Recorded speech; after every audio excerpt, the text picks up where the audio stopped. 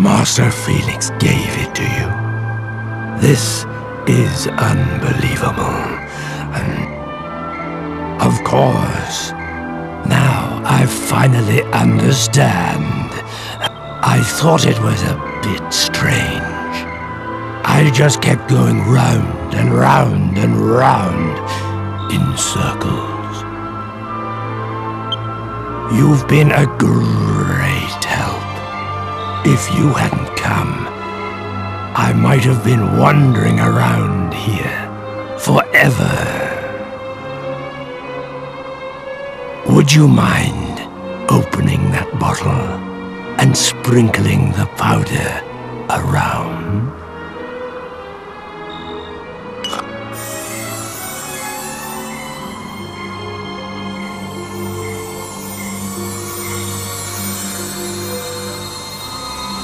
If you see Master Felix again, hmm, tell him that I, Baumren, owe a lifetime of happiness.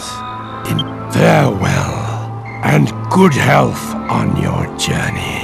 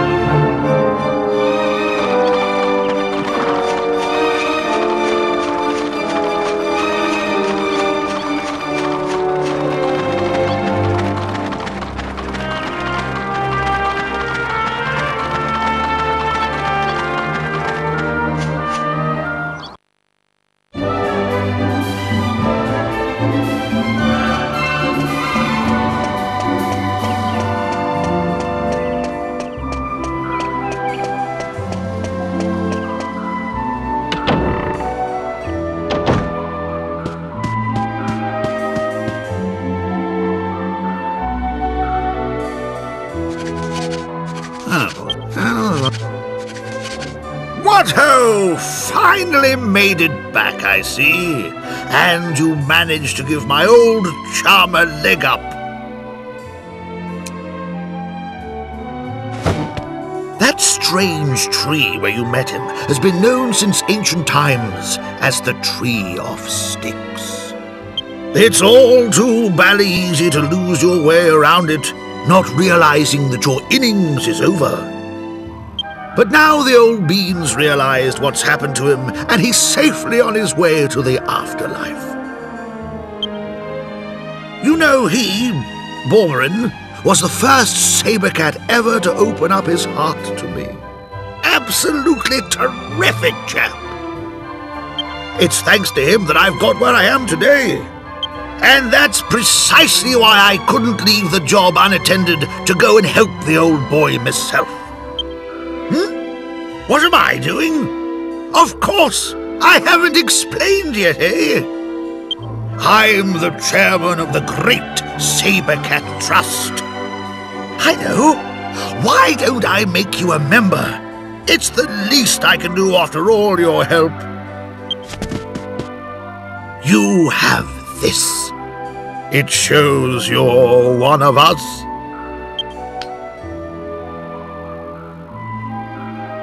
The bell is your proof of membership. It'll call a nearby saber cat if you ring it in the right place. Hmm? What's the bell called? It doesn't really have a name. I suppose that'd make it a bit of a pig to use, eh? Righto! How about we call it Baumren's Bell, eh? In memory of a good friend and a fine old gent.